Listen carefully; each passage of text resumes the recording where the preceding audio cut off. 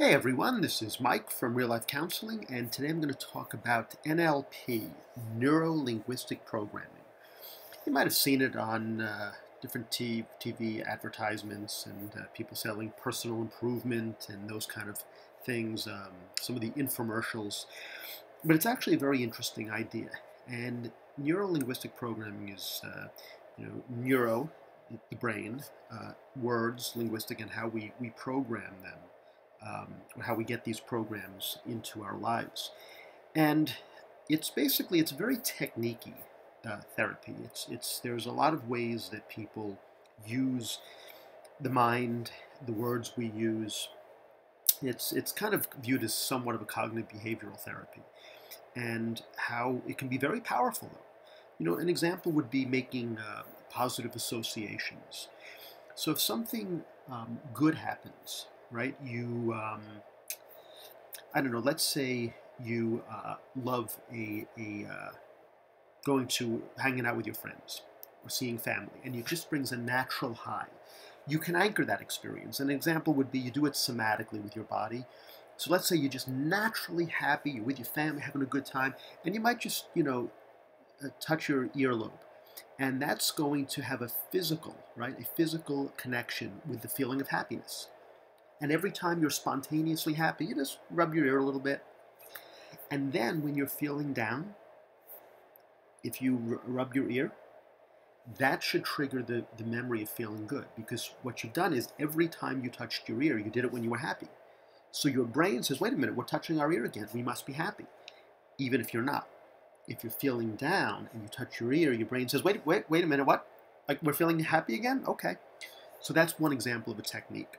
The other is, you know, being very specific. You know, um, people don't like me. Well, which people? Who? When don't they like you? Are there certain times, certain places? Do they just do they not like what you look like, what you sound like? Let's be specific. Let's really get to the heart of what's going on.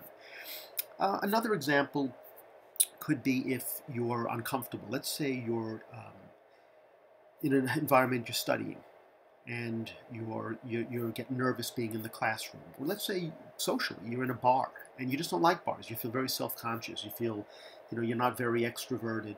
So you go in that environment that normally is sad, or down, or depressing, or uncomfortable, and you maybe you listen to a comedy routine on tape. So now you're associating laughter. You're listening to the comedy on tape in an environment where you normally would feel bad, and hopefully the two fuse together. And you will now have happy, laughing, positive feelings about an environment that you previously did not feel comfortable with. So those are just a couple of examples that NLP uses to uh, improve a person's life. Uh, I'm giving a very um, direct, um, bare bones, uh, layperson's view of, um, of this uh, description. Sometimes even the um, descriptions that are given that are seemingly easy and you know Wikipedia, it, it still can be a little confusing. So I'm going to give it pretty bare bones. But this can be very powerful. And I offer a, a 20 week NLP um, program and learning these techniques to really create pretty powerful and pretty quick changes.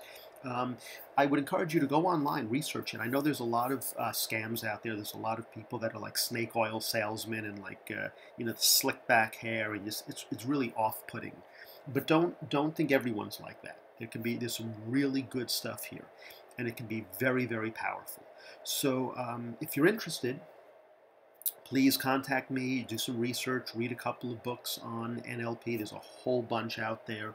Uh, Tony Robbins is a big, uh, a big person who does that. I know people have different feelings about Tony Robbins, but some of his ideas come from NLP, and um, th- these these are basic, really good ideas, uh, regardless of where they come from or who they come from. Um, so if you're interested, please contact me, um, or if you want to meet someone in your area. Maybe there's a therapist or someone that actually does this, and you can contact them. So anyway, I hope you liked the video. If you did, please give it a thumbs up. If you want to sub, uh, please do. Uh, more the merrier. If you think someone could benefit from this, please share it with them and uh, leave any comments. And I'll see you guys next time. Stay safe. Bye.